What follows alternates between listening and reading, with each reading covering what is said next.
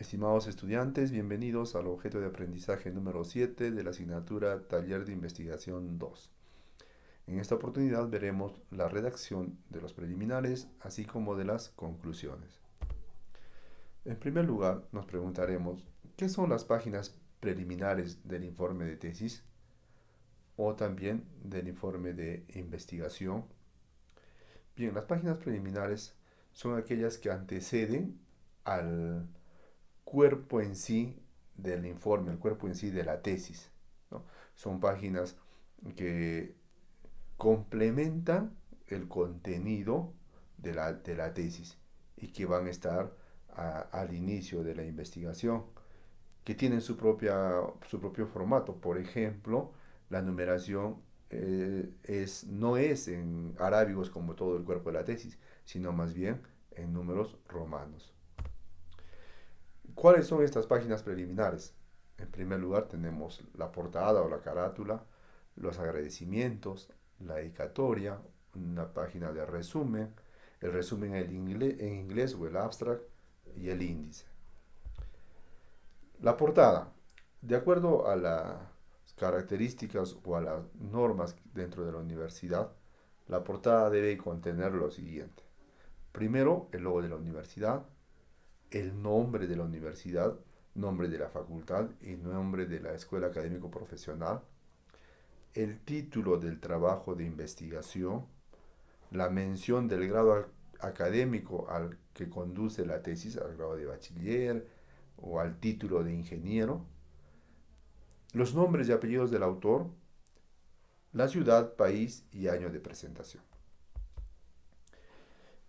En la siguiente, la siguiente página vendrían a ser los agradecimientos.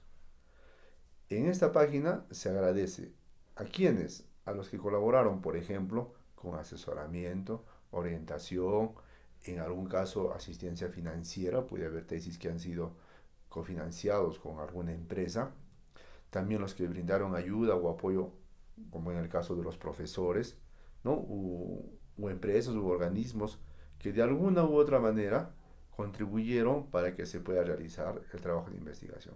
Siempre en todo trabajo de investigación va a haber agentes, si se quiere, externos al investigador que han colaborado, que han apoyado. Entonces, es bueno ser agradecidos y hacerlo notar en esta página.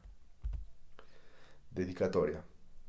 En esta hoja se mencionan las personas o instituciones a las que se desea honrar. Es una página opcional y se incluye según el criterio del autor. Puede no ir o puede, puede ir. Igual la página anterior de agradecimientos también puede no poner. Pero en este caso de la dedicatoria, entonces ya tenemos en, digo, por ejemplo, ustedes que están eh, terminando su carrera, ha habido personas que le han apoyado, no solo en esta tesis, sino a lo largo de toda su carrera, principalmente los padres. Entonces, ah, generalmente casi la dedicatoria va hacia ellos, pero también habrá otras personas, otros familiares, que, a quienes tendrán que honrar y mencionarlo en esta página de dedicatoria. Luego de ello tenemos la página de resumen, el resumen de la investigación. Bien, ¿qué características tiene el resumen?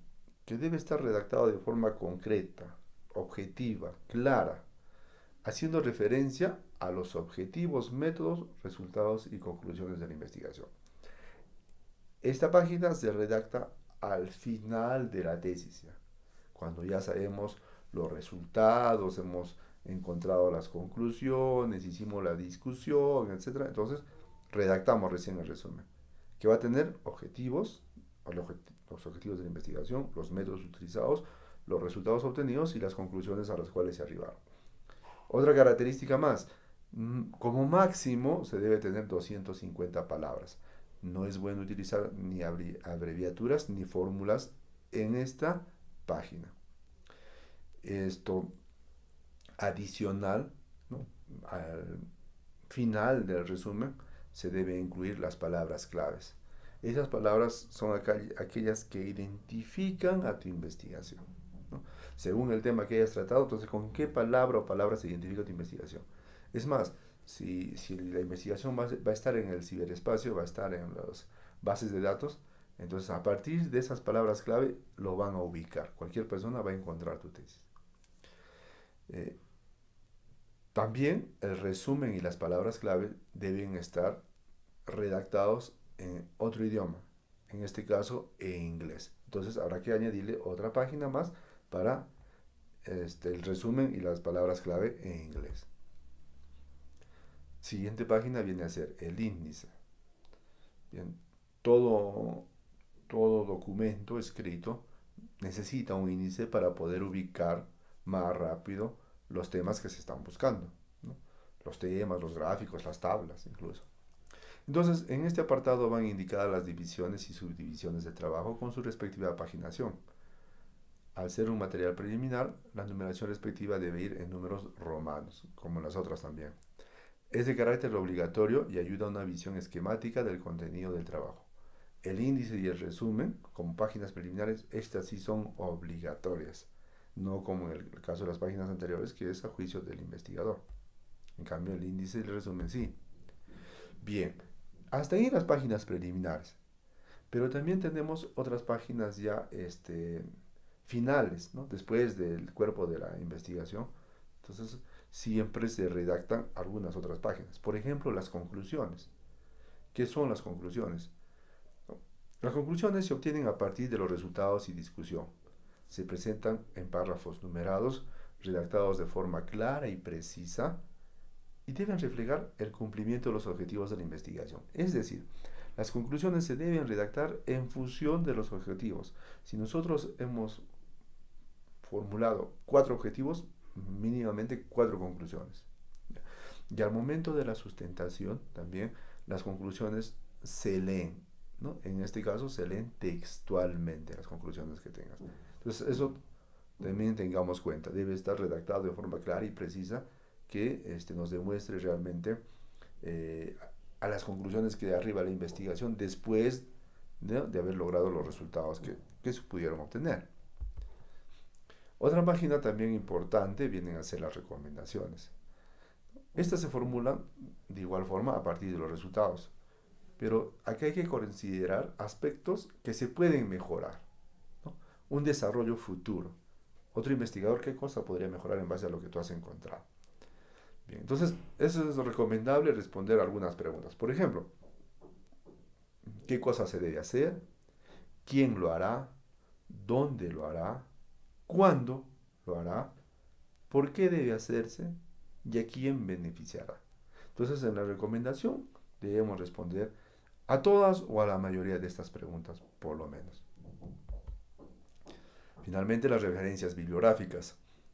Eh, toda investigación todo documento científico debe haber realizado citas a otros autores, a otros investigadores, eh, a expertos en, el tema que estamos tratando, etcétera, etcétera. Entonces, para elaborar las referencias bibliográficas se debe utilizar la referencia numérica, es decir, en orden de entrada o de cita, y con una numeración correlativa.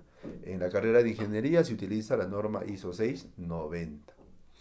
Adicionalmente, en, las, en los informes, ¿no? es muy eh, importante también esto, referirnos o incluir los anexos.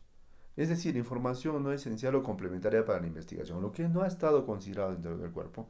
Por ejemplo, en el momento de hacer las estadísticas, solamente se presentaron cuadros de resumen nada más con los datos. Aquí en los anexos se podría incluir los datos, la matriz de datos que se ha ido trabajando, con lo cual se llegó a esos resultados que se están presentando. Conclusiones. Las páginas preliminares se refieren a aquellas páginas que anteceden al cuerpo del documento y tienen una estructura propia en la que solo unos pocos elementos son variables. El resumen de la investigación debe redactarse utilizando como máximo 250 palabras sin abreviaturas ni fórmulas. Muy bien. Muchas gracias. Los esperamos en las sesiones de clase.